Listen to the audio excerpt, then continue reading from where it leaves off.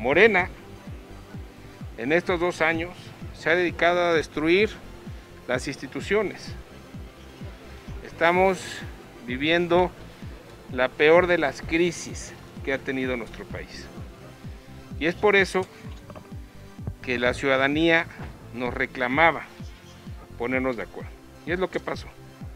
Nos pusimos de acuerdo por el bien de la ciudadanía y con esta alianza, con este frente, le vamos a rendir cuentas a los ciudadanos.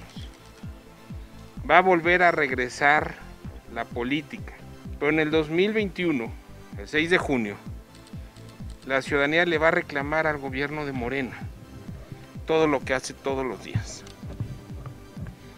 Lo hemos visto en donde quieren seguir destruyendo al país. Más de 150 mil muertes, que ya lo dijo el INEGI, que pueden ser 45% más. ¿Qué quiere decir? Más de 225 mil muertes. La vacunación es un desastre en México.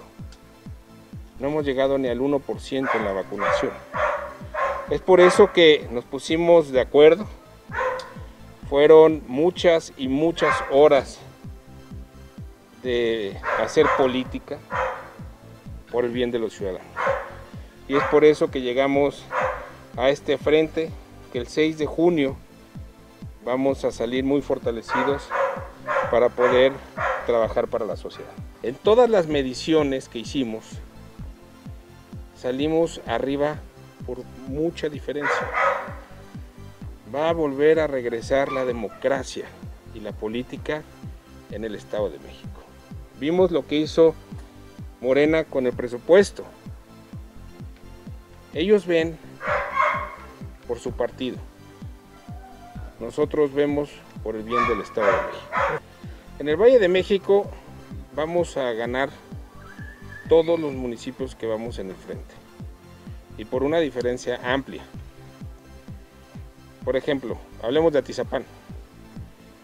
De Atizapán yo creo que vamos a estar ganando mínimo con un 65%,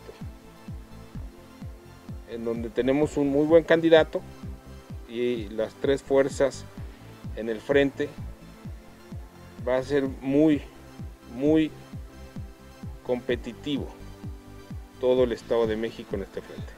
Que tanto el PRI como el PAN como el PRD van a salir a trabajar en conjunto.